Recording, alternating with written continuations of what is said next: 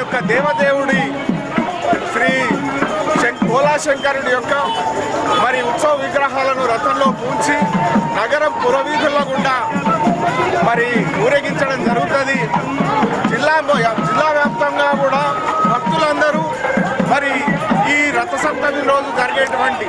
ఆ రథయాత్ర రథయాత్రలో భక్తోల్లాసములతో పాల్గొని మరి ఆ దేవదేవుని యొక్క ఆశీస్సులను పొందడానికి ఇక్కడికి రావడం జరుగుతుంది.